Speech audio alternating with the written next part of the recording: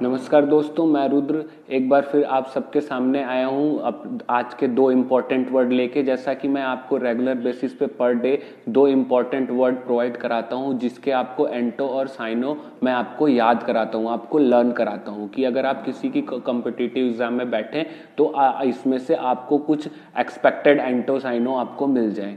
तो आज का जो मेरा पहला वर्ड है, वो है आपका एक्सट्रीमिस्ट अब एक्सट्रीमिस्ट से पहले तो बात करें कि प्रोनाउंसिएशन इसकी कैसे होती है? इसकी प्रोनाउंसिएशन होती है एक्सट्री देन मिस्ट तो इन दोनों के कॉम्बिनेशन से जो वर्ड फॉर्म होता है, वो बनता है एक्सट्रीमिस्ट ठीक है? अब एक्सट्रीमिस्ट क्या है? एक्सट्रीमिस्ट एक काइंड ऑफ़ नाउन है. ठीक है? और अगर अब हमें एग्ज़ाम में पूछा जाता है कि आप एक्सट्रीमिस्ट के साइन सिनोनिम्स बताओ साइनो बताओ तो हम क्या क्या बता सकते हैं? जो पहला आपका साइन होगा fanatic sectarian radical fundamentalist militant partisan activist ठीक है? अब इसके अपोजिट टर्म पे आते हैं कि अगर इस एक्सट्रीमिस्ट का अपोजिट हो तो उसे हम क्या बोलेंगे? उसे हम बोल सकते हैं मॉडरेट ठीक है? तो अगर हम ये जानना चाहें कि इसकी, अगर नॉर्मल वे में अगर इसकी मीनिंग जानना चाहें कि एक्सट्रीमिस्ट टर्म को नॉर्मल अपनी भाषा में हम क्या बोल सकते हैं तो हम इसे बोल सकते हैं कि ऐसी चीज़ें जो कि एक्सट्रीम हो, जो कि आपकी फंडामेंटल हो, जो कि आपके चीज़ों में काफ़ी कॉम्प्लेक्स हो तो उसे हम क्या कह सकते हैं कि वो एक एक्सट्रीमिस्ट थिंग है। और उसका एंटोनिम्स जो होगा, वो मॉडरेट होगा, यानी नॉर्मल होगा। ठीक है? अब हम इसके एग्ज़ाम्पल पे आते हैं, जिसके थ्रू हम आपको इस वर्ड को समझा सकते हैं। If you describe someone as an extremist ठीक है?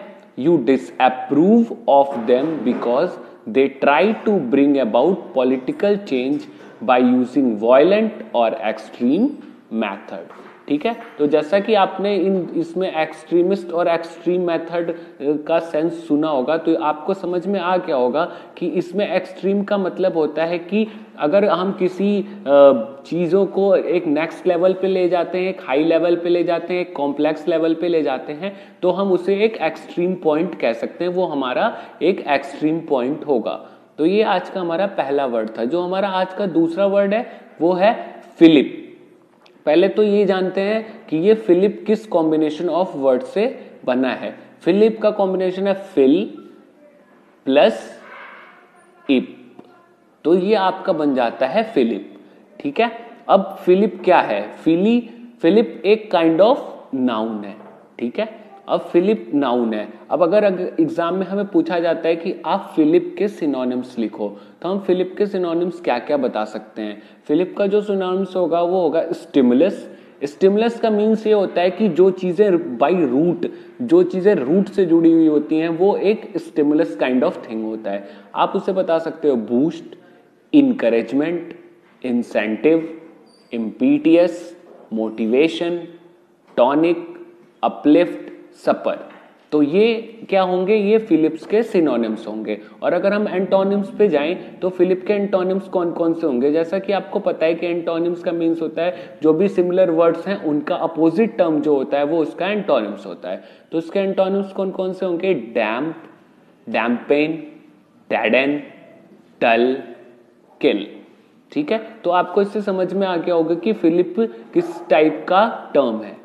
ठीक है? और अगर हम आपको इसके एग्ज़ाम्पल के थ्रू समझाएँ कि अगर इसको सेंटेंस में यूज़ करना है तो आप कैसे करोगे? The athletics win provided a much needed fillip for a national pride अब इस टर्म में फिलिप का सेंस ये बन रहा है कि अगर एक एथलीट का विन उसके लिए, उसके करियर के लिए बूस्ट है, उसके करियर के लिए इंकरेजमेंट है, उसके लिए एक काइंड ऑफ़ इंसेंटिव है, जिसके थ्रू वो अपने करियर को बूस्ट कर सकता है फिलिप कर सकता है और ये एक नेशन का प्राइड हो जाएगा। ठीक है? तो ये आज के हमारे दो इंपॉर्टेंट वर्ड्स थे अगर आप चाहते हैं कि आपको हमेशा इस चैनल पे आपको अपडेट मिलते रहें तो आप प्लीज़ इसको सब्सक्राइब करना मत भूलिएगा। Thanks for watching that's all